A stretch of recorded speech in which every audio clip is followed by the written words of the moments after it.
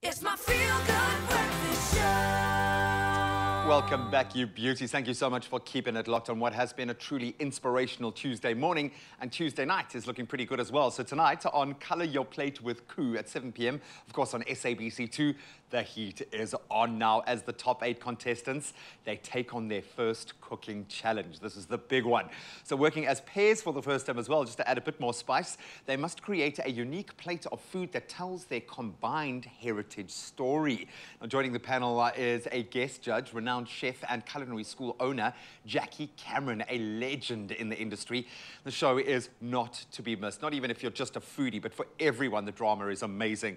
And you're going to get to see the top eight competing tonight. So be inspired by tonight's contestants' creations and, of course, stand a chance of winning a seat at that finale table on the judging panel. You'll sit next to Reuben Riffel. Come on.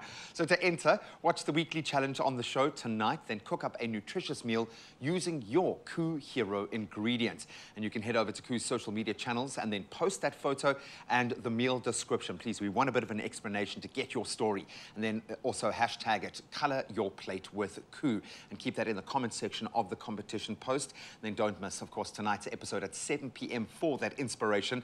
Plus, you're going to get to see who makes it through to the next round of the competition. The stakes are getting high. Just take a look at this. This Tuesday evening at 7 on Color Your Plate with Koo, the top eight contenders are forced to work together for the first time in the competition. Okay, I'm gonna get it in now, eh? They are falling apart and I'm falling apart. And joining the judging panel is one of SA's top chefs and cooking school owners. Teamwork makes the dream work. That's Color Your Plate with Koo, Tuesday evenings at 7, only on SABC2.